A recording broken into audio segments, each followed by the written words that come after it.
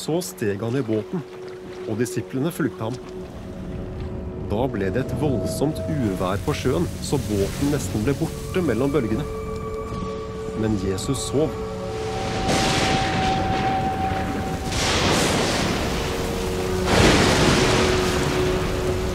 De gikk bort og vekket ham og sa, Herre, frels, vi går under. Han svarte, Hvorfor er dere redde, dere lite troende? Så reiste han seg og truet vindene og sjøen, og det ble blikk stille.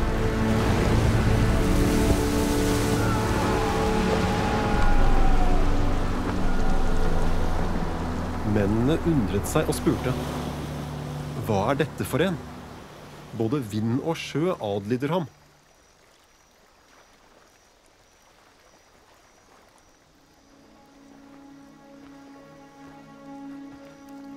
Da Jesus kom til Gadarenerlandet på den andre siden, kom to som hadde onde ånder mot ham ut fra gravhullene.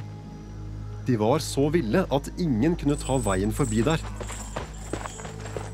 De satte i å rope. Hva vil du oss, du Guds sønn? Er du kommet hit før tiden for å pine oss?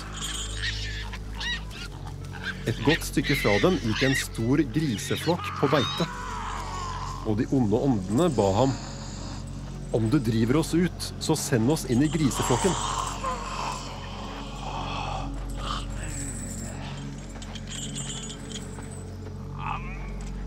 Far av sted, sa Jesus. Og de for ut av mennene og inn i grisene. Da satte hele flokken utfor stupet og ned i sjøen og omkom i vannet. Grisepasserne tok flukten og løp inn til byen. Der fortalte de alt og sa hva som var skjedd med dem som hadde hatt onde ånder. Hele byen dro ut for å møte Jesus, og da de traff ham, bønnfalt de ham om å dra bort fra området deres. Så gikk han ut i båten, satte over sjøen og kom til sin egen by.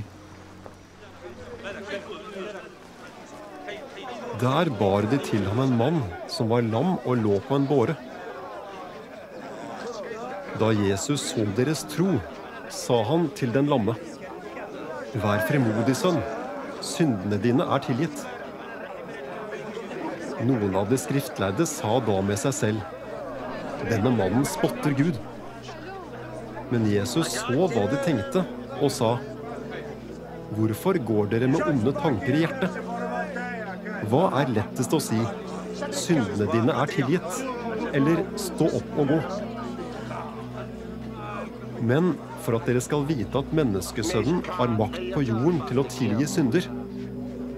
Og nå vender han seg til den lamme. Stå opp, ta båren din og gå hjem. Og mannen reiste seg og gikk hjem. Da folkemengden så det, ble de grepet av frykt og priste Gud som hadde gitt mennesker slik makt.